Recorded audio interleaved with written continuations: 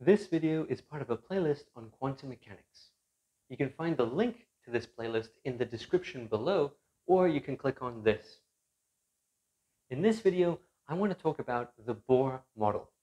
I'm going to derive an expression for the radius in the Bohr model. Let's have a look at a visual illustration of the Bohr atom. So what we have is one electron shown over here, and it's got a circular orbit around the nucleus. This electron has a tangential velocity v, and it has a centripetal force F. This centripetal force is what's causing it to stay in the circular orbit. If that force wasn't here, the electron would just be moving in a straight line with velocity v. But that force keeps it in a circular orbit, so it's zipping around over here. It's orbiting the nucleus in the same way a planet orbits the sun. Now, in modern quantum mechanics, uh, the picture is actually a little more complicated. But in the Bohr model, we can think of it as a mini solar system. It's a mini solar system with some quantum mechanical properties. And one of those properties is angular momentum quantization.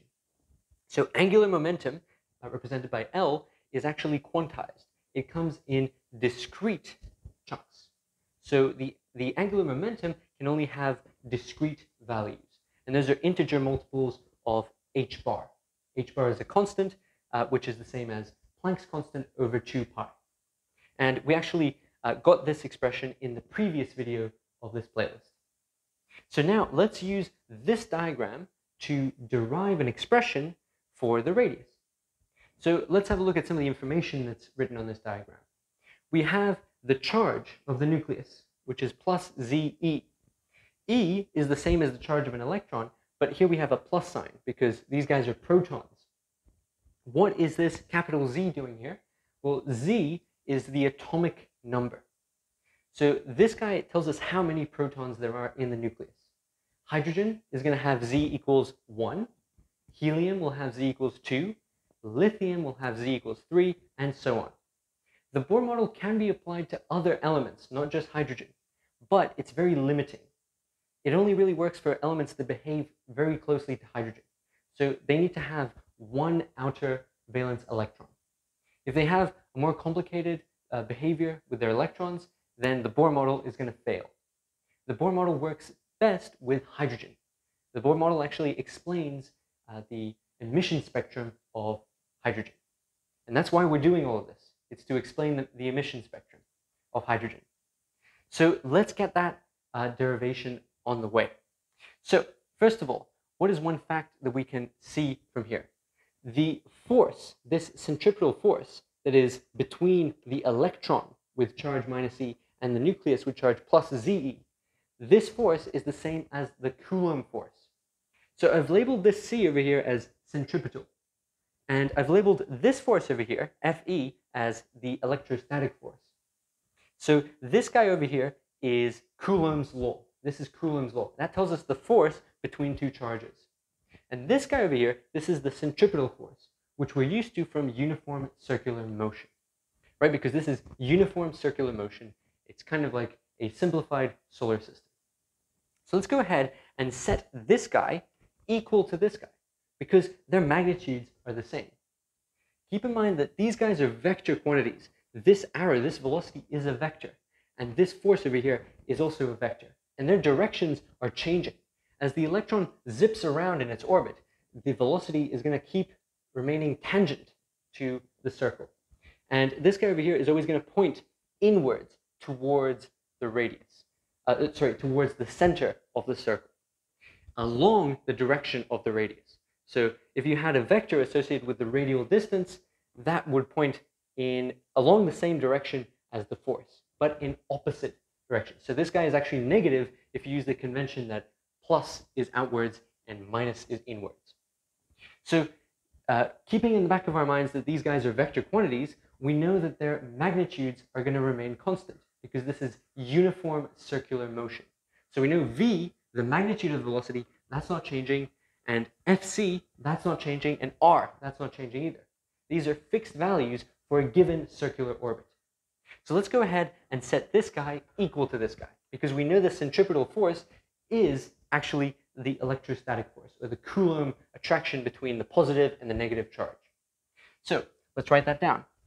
What we have is the magnitude, the magnitude of Fc is equal to the magnitude of Fe.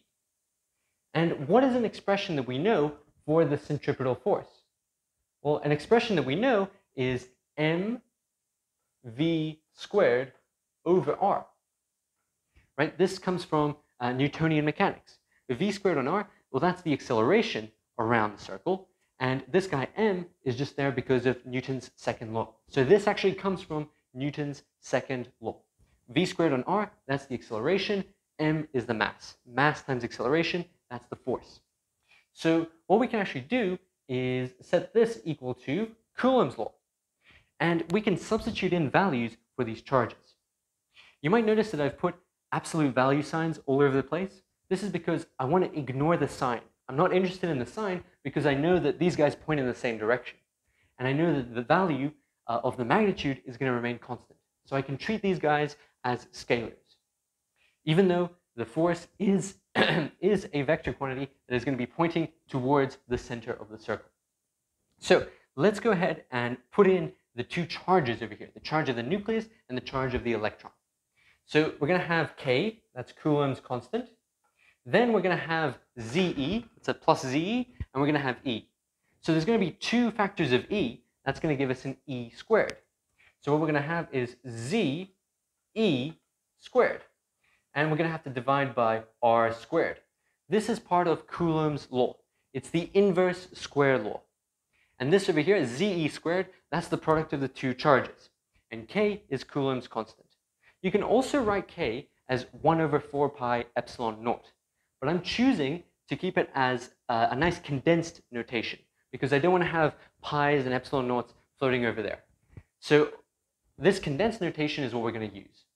You might see immediately that there's a factor of r down here and a factor of r squared. What we can do is we can actually write this uh, in a simpler way, we can cancel out a factor of r. So if we remove a factor of r, what we're going to be left with is mv squared is equal to k z e squared over r. So I've just removed one of those factors of r. And this over here, mv squared, that might look familiar.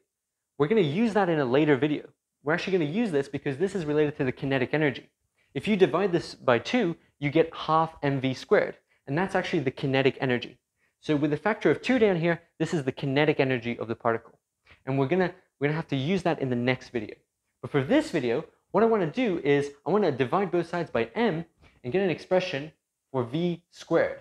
v squared is actually equal to kze squared on mr. So I've got kze squared over mr right? So we've divided by m, we've got mr, and we've got our kze squared factor. For hydrogen, this z is just going to turn to 1, so we wouldn't even have to worry about it. But I'm keeping the z there because this can also work for other elements. So now what I want is another expression for v squared. Where can I get that? Well, I've got this uh, relationship over here. So if you remember from the previous video, this angular momentum can be written as mvr. So we can write this as mvr equals nh bar. Right? So this guy is just angular momentum. All of the vectors are uh, perpendicular to each other, so we don't have to worry about any sine thetas when we're taking cross products. So it's just mvr. Have a look at this. We can divide both sides by mr, and what's that going to give us? Well, we're actually going to get v equals nh bar over mr. Right? I've just divided both sides by mr. Uh, but I don't have a v, I have a v squared. So what I can do is I can square each of these guys, square both sides, and look what I have. I have two expressions for v squared. And both of them have r in them. So this is on the way to getting an expression for r. So let's set these guys equal to each other. kz squared over mr, I'll set that equal to n squared h bar squared over m squared r squared. And again, we have the same factor appearing downstairs in the denominator. So what we can do is we can uh, cancel out an MR and we can cancel out uh, an MR over here. Now, what's that going to leave us with? We're going to have K Z E squared is equal to N squared H bar squared over MR. Right? So this is the relationship we have. We've canceled out an MR on both sides. And what we can do is we can move this R to the other side, and we can move all of this stuff, all of this KZE squared to the other side. That's going to give us R equals N squared H bar squared divided by KZE squared M. Right, so we've got the KZE squared down here, we've got the M, and we've moved the R to the other side by multiplying both sides of the equation by R, and we've kept the N squared H bar squared. So what's an important thing that we can see? K is Coulomb's constant, that's constant. Z is constant, the charge of the electron is constant, the mass of the electron is constant. Uh, N is an integer value, and H bar, that's a constant. So what we actually have is a bunch of constants together, and we have another variable n. So what we can actually write this as, we can write this as Rn, or the nth radius, is equal to the first radius times n squared. Right? So I've just grouped all of these guys together. And in, in this expression, R1 is actually equal to h bar squared over k z e squared m. That's what this R1 is equal to. So that's the first radius of the lowest energy level, where n equals 1. Then the next one is going to be n equals 2, then n equals 3, then n equals 4. And so that's what all of this stuff here is saying. So what do we actually have? We have this is a squared relationship with the number n. So Rn is actually proportional to the square of this value n. Now that's very important. So the second one is not actually, the second energy level or the second radius uh, is actually not twice as far as the first radius, it's four times as far. So that's what this squared relationship tells us. This over here, this is the first radius. Another important observation is that if you set z equal to 1 in this expression, you get the Bohr radius, which is about half an angstrom. This over here turns into the Bohr radius if you set z equal to 1. So this over here is the takeaway message of the video. The radius for the nth energy level is actually proportional to the square of this number n. And this number n is an integer. It's a positive integer. 1, 2, 3, 4, 5, 6. So that's the relationship we got. So how do we get this relationship? Well, we started with a visual representation of the Bohr model. We understood that the Bohr model represents the electron as going around in circular orbits, kind of like a mini solar system. And then we used some special properties in quantum mechanics, like angular momentum uh, quantization, and we also used some of these classical electromagnetism laws like Coulomb's law. We combined all this together, uh, we got some expressions for v squared, and in the end, we got an expression for the radius. So the radius comes in discrete values as well. This is a pattern in Bohr's model. It's a pattern in quantum mechanics. These values come in discrete, uh, they come in discrete sets. And they can be indexed by variables like n. So n is just a positive integer. So we'll be using uh, this relationship over here, this squared relationship, we'll be using this relationship, and we'll definitely be using this little formula over here in later videos in this series.